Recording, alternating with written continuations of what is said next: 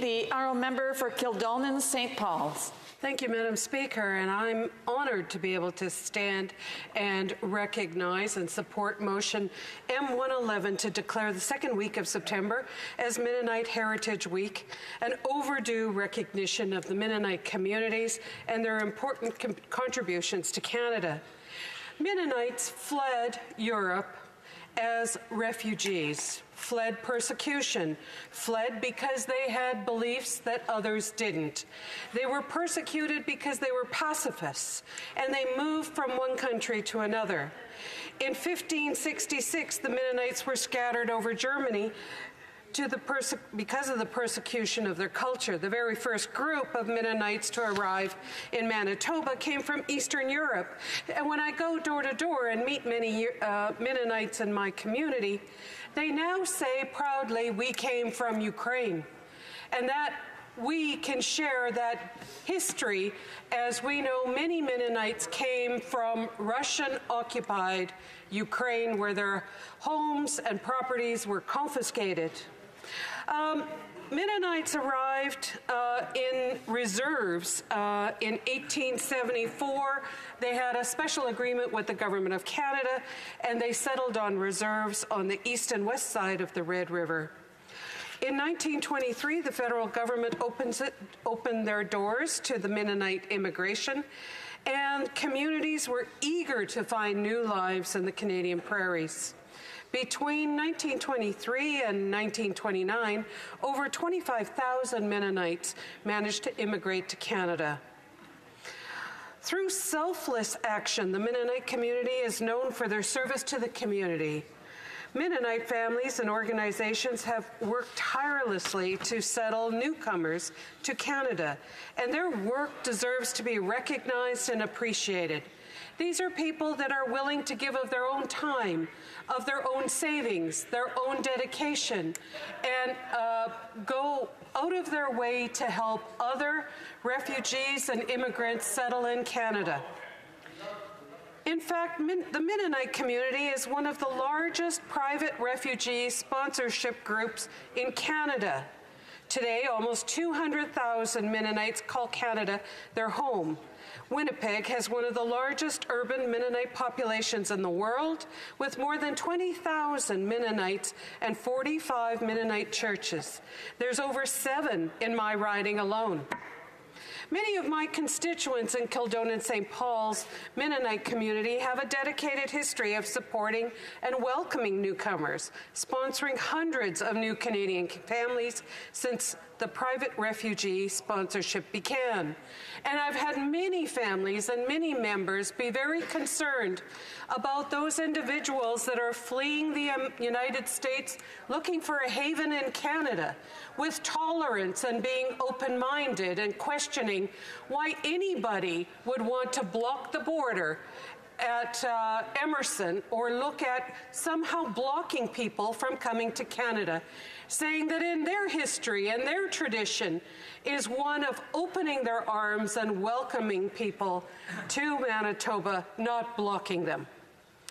I find this particularly heartwarming and fitting, given that this year is also the 40th anniversary of the private refugee sponsorship program. By the end of the Vietnam War, the Mennonite Central Committee negotiated a groundbreaking agreement with Ottawa to match the Vietnamese refugees with private sponsors and brought them to Canada as permanent residents. Based on these agreements, the federal government introduced the Private Refugee Sponsorship Program. And this will allow groups of five eligible to sponsor refugees directly. Even now, I have families and organizations asking if Canada would increase the number of refugees and private sponsorships that Canada would take. And since 1979 to 2018, approximately 12,000 people have arrived in Canada through MCC's Canada's Private Refugee Sponsorship Program. That's a program that helped individuals with intense needs with no cost to government, providing often the supports necessary for those families to be on their feet and proudly paying taxes uh, within months, Madam Speaker. something that we can inspire to and support 100%. It's only through these dedicated partners like the Mennonite Central Committee that the federal government, our Liberal government, was able to resettle 25,000 Syrian refugees that were escaping conflict. And many of them live in Kildonan St. Paul. And many of them are members of the local Mennonite church active members, volunteers, building community hand in hand.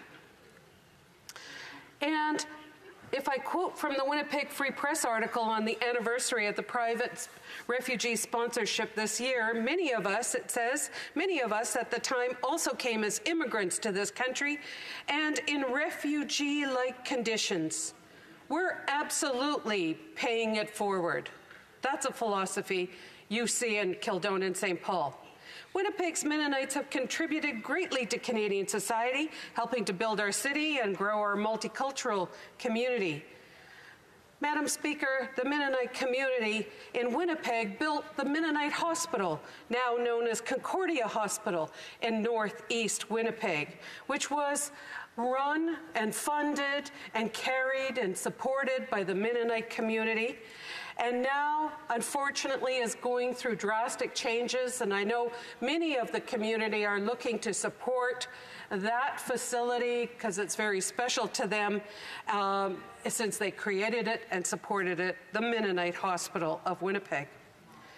Back in my hometown of Winnipeg, the Mennonite community have established many well known, reputable manufacturing industries, such as Price Industries, uh, Loewen, we have others like Palliser Furniture, which makes a point of helping, providing an opportunity for Indigenous, for refugees, for women to have an opportunity to work. So the charity and the goodwill and the ability to help goes not only at home during for, for charities, but also in the workplace. And we all have had a triple E motorhome or a trailer that we've taken on a camping trip or we've had those excellent Loewen windows or doors, which are the finest in I'd argue, perhaps the world. Um, it was through these very entrepreneurial business owners, I remember them saying that their mission, and I think they were a group of entrepreneurs from Morden, Morden Winkler area, and they said, We've made a commitment to create a job for every single graduate from our high school. And you know, Madam Speaker, that was a reality. Instead of allowing young people or, or having them move away from the community, they built the resources, they built the dream, and they've probably doubled their population since that time when they came to me. I was Minister of Industry, and they, we were looking at supporting the Mennonite community with their growth strategy. So uh, it's about compassion, it's about entrepreneurship, and it's about making a difference. The time honored, community oriented Mennonite operated companies like these have made contributions to small communities and large communities.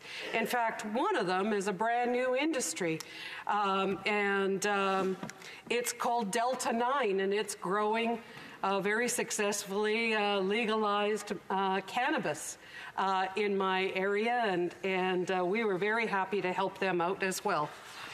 So, Madam Speaker, it's incredibly fitting that the second week of September was chosen to be Mennonite Heritage Week, being the traditional time when the Mennonite Central Committee relief sales are held every year in Canada and the U.S. It's my hope that during this time we celebrate Mennonite heritage in Canada. We work together in service of our communities and celebrate our diversity. Thank you, Madam Speaker.